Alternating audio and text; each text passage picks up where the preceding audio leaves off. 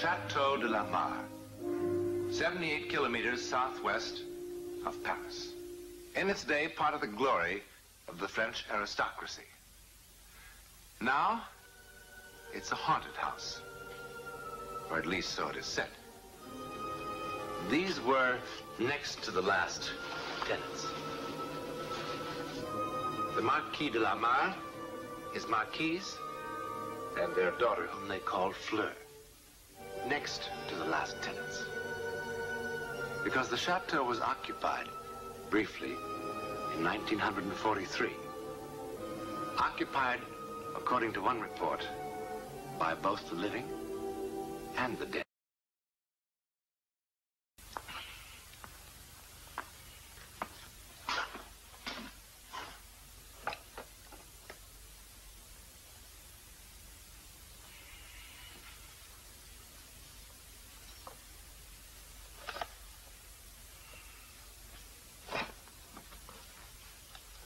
Well? Well? Did you think I was going to say congratulations, Herr General? Your heart attack was an illusion? Rejoin your Panzer Division at the Eastern Front? Who does he think he's talking to? You should have him whipped.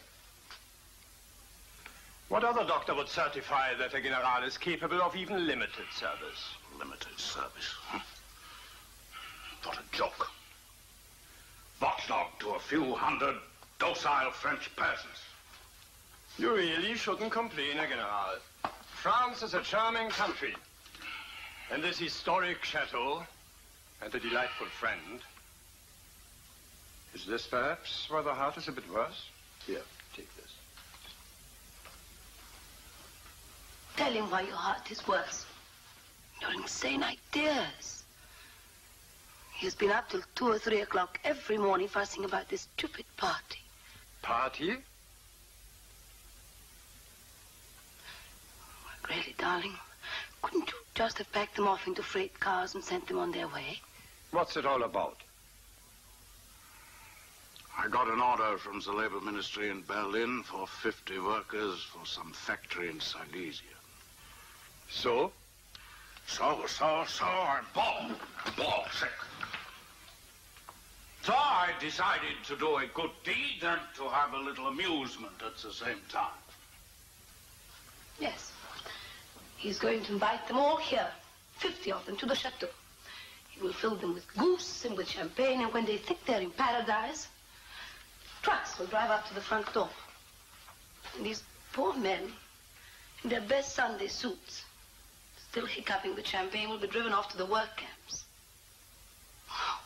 What a rogue you are.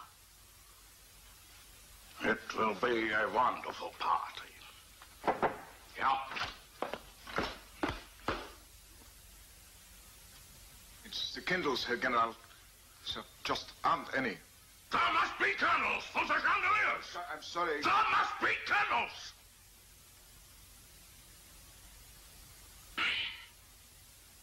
Everything must be perfect, exactly as it was. That's the whole point. It is not just a party. It is a fantastic party. This chateau has been a museum for 150 years. Hmm, Think of it. Can't you see their ox-like faces in the candlelight? In the candlelight!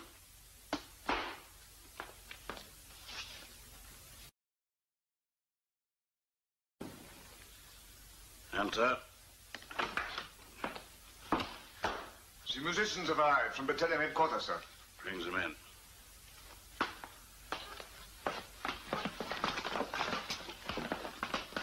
Stand at attention in the presence of a general.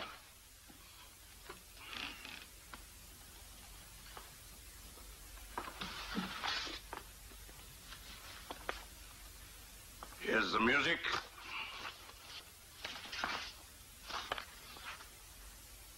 Herr General, we do not know this music. That music. I want every song that was played that night. Do as he says. Russ?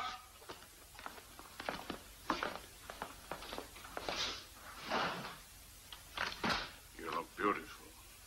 blew out my dress at the back. The silly maid ran off crying in case she'd tear it. When I picked you up in Paris two months ago, this dress would have fitted you perfectly. I'm too good to you. Well, how do I look? Like him? Exactly. And I look like her. Except I can't breathe in her dress. Please, next week, can we have a real party with my friends from Paris and a dance orchestra? I want to show off my German general. What a terrible French woman you are. In a house that represents all the glory of France, you want to show off your German general. Darling, I'm far too fond of luxurious living to be patriotic. Yes, I'm sure you are. It's a weakness of the French. Besides, I'm rather fond of my general. What is it? Nothing. Tell me. Nothing. I just feel strange. Oh, it's just strange standing here in their clothes, in their house, reliving their last party.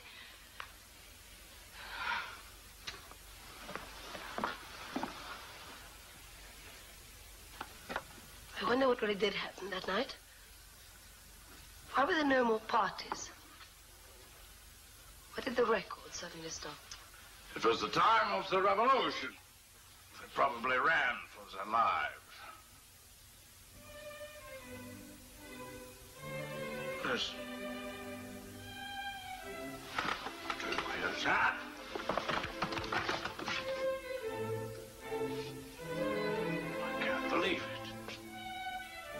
Musicians from a regimental band?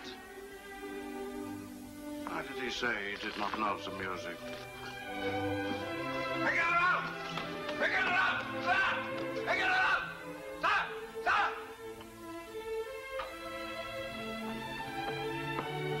Small! We do not understand, sir. You already have musicians, marvelous musicians.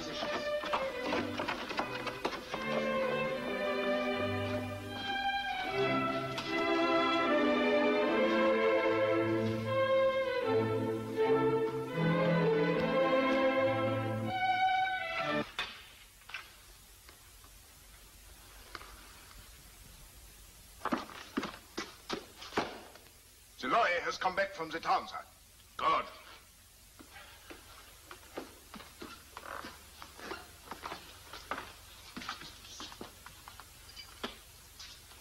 Where's the others? I'm sorry, Agenor. They were told to be in the market square at nine o'clock. We were there with a wagon, but the town is dead. Everyone's gone except him. Who invited the priest? Your soldiers? We thought you might like to question him about the others, Agenor. Where are they? I do not know. Hmm. A heroic priest. Not brave at all, I assure you. No. I see. Where are they? Scattering throughout the countryside. Why? You know why. They found out? Yes. How? Why did you not run away with them? I thought I was safe in my church. You should have run away with the others, priest. Fifty men invited to a party and only one turns up. What can we do? Old but lean. There should be a few months' work in you. Come, darling. Why not? When the villagers hear about it, they will attack the chateau like wild animals. I know what these people are like about their priests. It would be very silly of you. It would not be silly of me.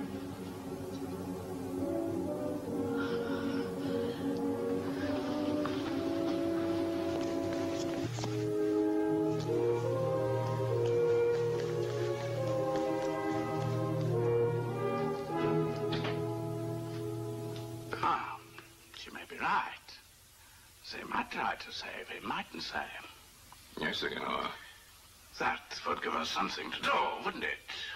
Yes, Agenor. Uh,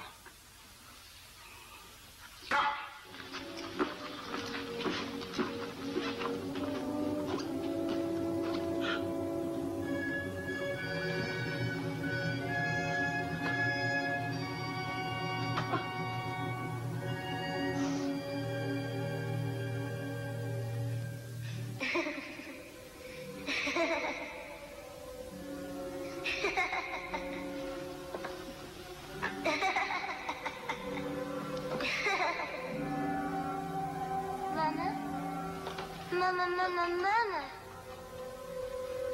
Oh, mama. Oh, mama. Mama? Mama, mama. Mama, you're so pretty. I do not want to eat. You will want to eat when you see what we have. We have copied the original menu completely. We have roasts, partridge pies, boiled capons. what a wonderful century that was. For whom? A few thousand people living like that, while 20 million others lived like vermin? But they were vermin. Mama, mama. mama, mama, mama, mama.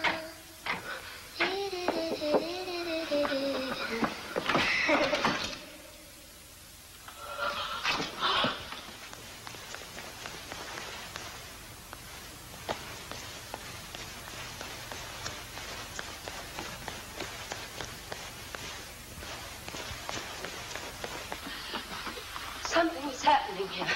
I, I was upstairs. There was a voice. There was no one in the room. More ghosts. It's something. I don't know why I put up with you. Well, where did the music in here come from? Someone is having a little game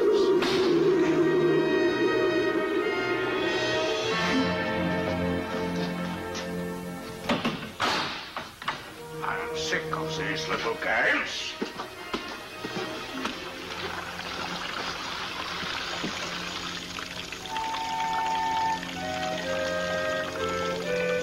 Mr. Gardner said they had never worked in his lifetime.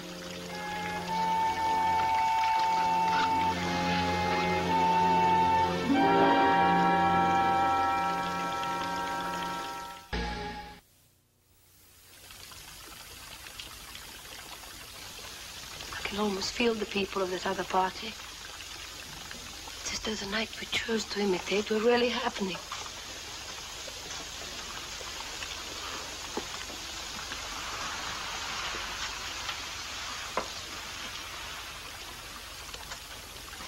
Give me your gun.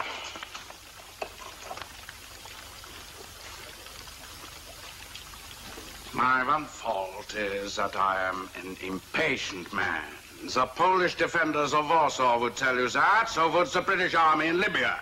I'm absolutely without patience, so when the next miracle occurs, I shall kill you and throw your body onto the lawn. Then your miracle workers can try to bring you back to life. Stop crying! You look ugly when you cry, don't you know that? You look years older. When's the musicians playing? We have not rehearsed the music, Then play it best you can. We cannot play it at all, Do what I say!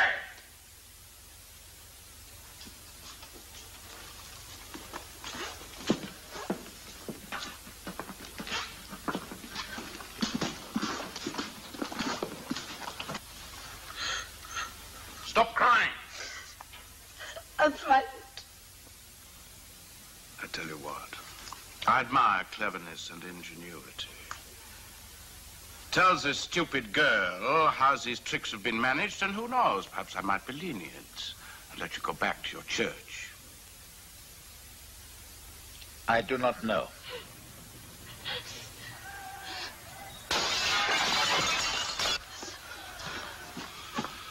You can't be sure he's behind it. Then let us say he's being punished for refusing to say how he knew how to warn the others. I told him. I didn't mean to. I went to the town the other day. I went into the church out of fear. almost without knowing it, I, I dipped my fingers into the holy water. I made the sign of the cross. Still without knowing it, I knelt down before the altar. And I prayed. Quite suddenly, I felt more frightened inside the church than out. Started to walk down the aisle. And I saw the confessional box. I walked in. He was there. Maria. I told him then. He could not have told the others without your permission. And you gave it. Why?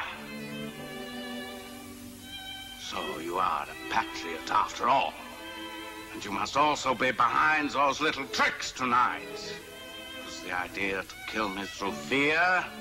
Because of my weak heart? No. You confessed to the priest, but you did not confess to me. What else did you confess to? Did you confess what it was like living here in this house as an old man with a weak heart? Huh?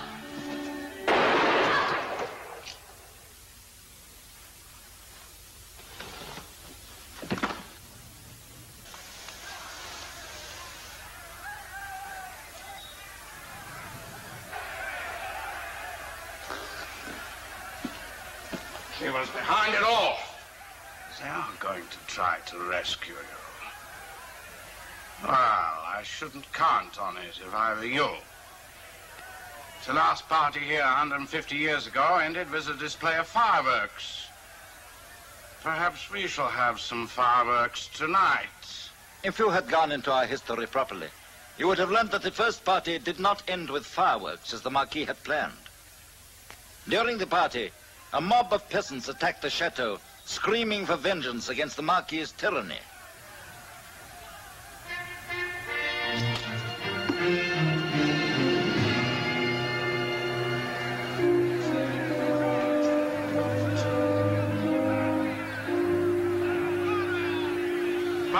Guards not opened fire?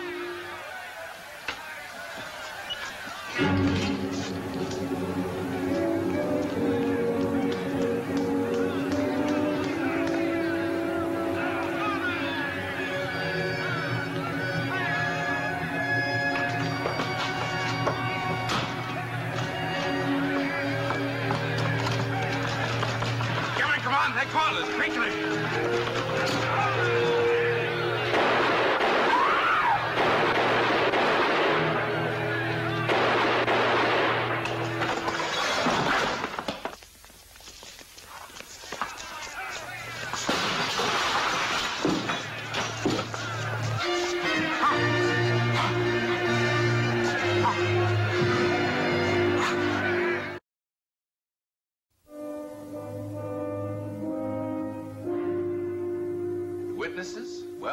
Village priest, Father Emile, died in 1950 without ever mentioning that night. The German soldiers who were witnesses have, of course, been scattered by the winds of history. Except one sergeant, Franz Dietrich. Sergeant Dietrich did tell a German newspaper reporter of the Frankfurter Morgen Zeitung all the events you have just seen. Now, of course, everything that happened could have been caused by living patriots, all except the last one, the mob itself, the unseen mob. It is true that on May 17th, 1788, this chateau was attacked by a mob, and the Marquis de la Mare was found in his bedroom, trampled to death. It is also true that on November the 6th, 1943, General Gunther Hauptmann of the German Army of Occupation was also found dead in the same bedroom. Now, his death was listed in the reports as due to heart failure. But the doctor who filled out the report did not fail to note that every bone in his body was broken. Since then, the chateau has remained empty.